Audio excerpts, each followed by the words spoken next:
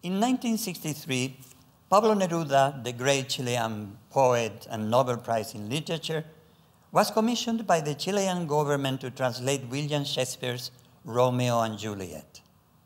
In an extensive interview in Isla Negra in 1970, answering a question about his translation, he said, I had the courage of make a translation of a humanized Shakespeare.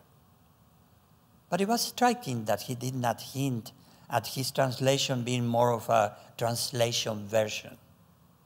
His work was not merely a translation, but also a recreation of the tragedy based on the Shakespearean text, something that the editors always have difficulties recognizing.